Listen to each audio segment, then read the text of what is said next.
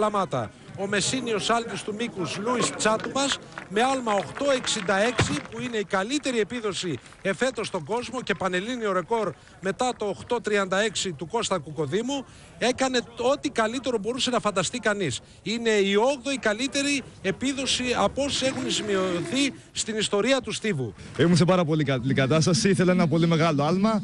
Ένα άλμα πάνω από το πανελλήνιο ρεκόρ, γύρω στο 40, γιατί όχι και σε πολύ καλή κατάσταση στο 50. Το 866 όταν δεν το πίστευα ακόμα, νομίζω ότι δεν το έχω κάνει.